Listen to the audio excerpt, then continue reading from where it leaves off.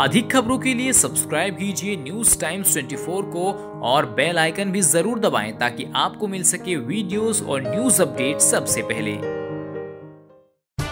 बीच सड़क, आपने ऐसी बहुत सी वीडियो देखी होंगी जहाँ पर पुलिस के अधिकारी जनता से भिड़ जाते हैं और वाद विवाद इतना बढ़ जाता है कि नेता और प्रशासन दोनों के अपने अपने अधिकारों तक बात पहुँच जाती है। आज आपको एक ऐसी ही वीडियो दिखाने जा रहे हैं, जिसमें एक पुलिस का बड़ा अधिकारी प्रदर्शन कर रहे कुछ नेताओं के साथ अभद्रता करता है और उन्हें अपनी वर्दी की अकड़ दिखाता है। लेकिन बाद में जब लड़का अपना परिचय देता है तो अधिकारी के तेवर ढीले हो जाते हैं।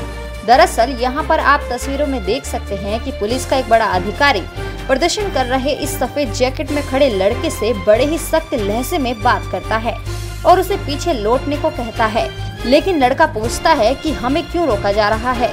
इस बात को लेकर अधिकारी लड़के पर टूट पड़ता है।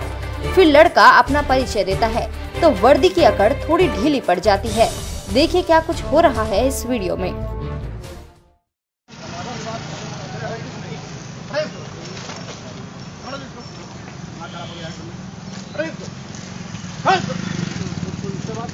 किसी से बात कर रहे हैं हम?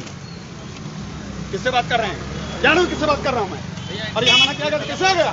पदाधिकारी हो यहाँ पदाधिकारी कुछ भी हो। नहीं आ सकते हैं आप। चलिए यहाँ से जहाँ जाना हो जाइए। कल आपको मना करना पसंद कर रहे हैं ठीक ना? संघ का बेकार बात नहीं बेकार बात की बात मत संघ का प्रोग्राम नहीं रोकेंगे। ठीक ना? चुपचाप जाइए अब चलिए अनाउंसर मीडिया है चलिए हो गया। मैं भी जान रहा हूँ। ये दिखाइए नहीं आप। आप दिखा रहे हैं। आप भी दिखा हम आपसे बात नहीं करना चाह रहे हैं। कौन आपसे बात करने के लिए यहाँ मारा जा रहा है? तो कैसे चले आप? कौन आपसे बात करने के लिए मारा जा रहा है? कोई मर रहा है क्या बात करने के लिए? चलिए केवल प्रोग्राम रोकेंगे तो सही नहीं है। सब कल आपको रोकना था। सब हो जाएगा सही सब हो जाएगा मीडिया नहीं बात नहीं करता। तो से हमारे अब ज़ाहिर है प्रदर्शन करने का अधिकार तो सबको है। लेकिन उसको रोकना प्रशासन का भी कर्तव्य का हिस्सा है।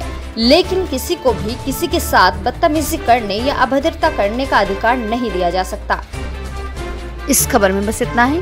खबर को लाइक और शेयर ज़रूर करें और ऐसे ही खबरें पाने के लिए सब्सक्राइब ज़रूर कीजिए न्यूज़ टाइम्स 24 को।